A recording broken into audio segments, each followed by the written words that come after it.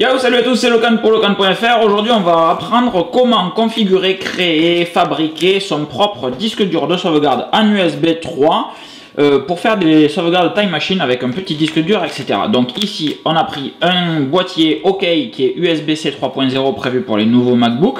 Le câble est fourni dedans, ça c'est bien et ça vous évitera d'avoir à vous traîner un adaptateur. Et on a pris, j'ai pris à côté un disque dur Seagate de 2 Tera. C'est un disque dur hybride, c'est-à-dire qu'il y a une partie SSD, une partie disque dur dedans. On s'en fiche pour des sauvegardes Time Machine, s'il était que disque dur, ça irait très bien.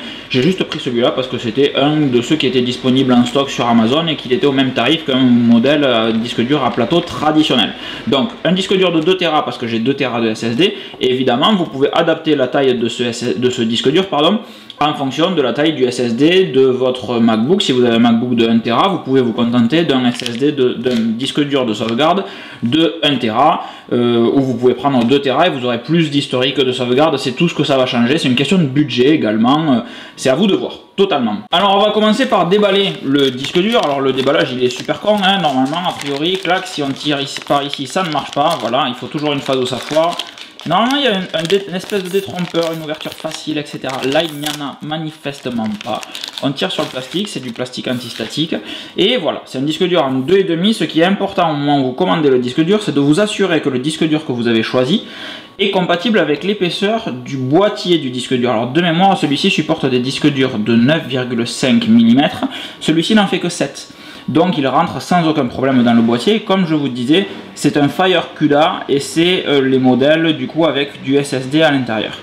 Euh, rien de bien fou, on a les connecteurs SATA, etc. ici, l'alimentation et la data. Euh, tout simplement. On ouvre ensuite le boîtier ici, c'est un boîtier OK comme je vous disais, j'en ai déjà en version métallique pour, euh, pour un autre disque dur de sauvegarde tout simplement. Donc on tire sur tout ça. Eux c'est bien parce qu'ils ont du plastique recyclable en mode petit plastique de soja, etc. Ça c'est top. On a notre boîtier ici et comme vous le voyez, clac ou pas d'ailleurs, si euh, c'est on a un voyant d'état et un donc qui clignote quand ça travaille et un connecteur USB-C. Et ça c'est cool que ça soit de l'USB-C. Pour ouvrir le disque dur, on fait tout simplement glisser. Et à l'intérieur, vous voyez qu'on a la nappe SATA qui est la version mâle de la nappe qu'il y avait ici. Euh, pardon, qui est la version femelle de la nappe qu'il y avait ici, et on va venir tout simplement enquiller notre disque dur, comme ceci, dedans. C'est super con, et hop, on referme ça. Je suis un peu surpris même d'ailleurs qu'il n'y ait pas de système de fixation empêchant le disque dur de bouger, etc. C'est peut-être un peu léger, on évitera de trop le trimballer c'est bien d'avoir un disque dur comme ça caché quelque part chez vous ou euh, pas dans votre boîte à gants celui-là par exemple parce qu'il va bouger un petit peu dans tous les sens mais caché au fond d'un tiroir etc c'est top. On a donc mis notre disque dur dedans dans le boîtier tout simplement. On a au fond normalement je suppose et je déballe vraiment avec vous on a normalement voilà un câble USB-C c'était marqué que c'était fourni c'est pour ça que j'ai pris ce boîtier. Tan, là USB-C vers USB-C pas de souci c'est compatible avec les nouveaux MacBook et quand on vient connecter, c'est ça que je voulais voir, c'est que ça force bien, c'est-à-dire que le câble ne bouge pas une fois qu'il est dedans.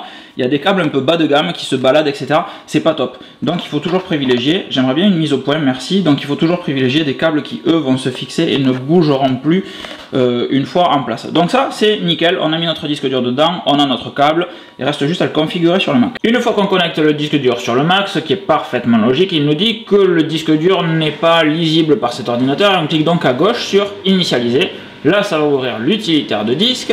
Et une fois qu'on est sur l'utilitaire de disque, on ne se plante pas et on ne vient pas formater le disque dur interne qui est Macintosh HD. Ici, en externe, on a un petit ATA tout mignon. Et on va faire effacer. Et là, on va lui dire qu'on va l'appeler backup, par exemple, parce qu'on est super malin. Euh, ou time machine, si vous préférez, time capsule, comme vous voulez, on s'en fout foncièrement. Euh, en macOS étendu, etc. On va même chiffrer, pardon, on va le créer comme ceci et on va chiffrer le disque dur. Hop, on crée une euh, clé de sauvegarde, choisir, effacer. Et voilà, le processus d'effacement est terminé. On fait done, on peut fermer l'utilitaire de disque, c'est parfait. Et là, on va aller ouvrir les préférences Time Machine. Notre nouveau disque dur est ici, on vient de le créer. Et dans Time Machine, on va lui dire ajouter un disque dur de sauvegarde.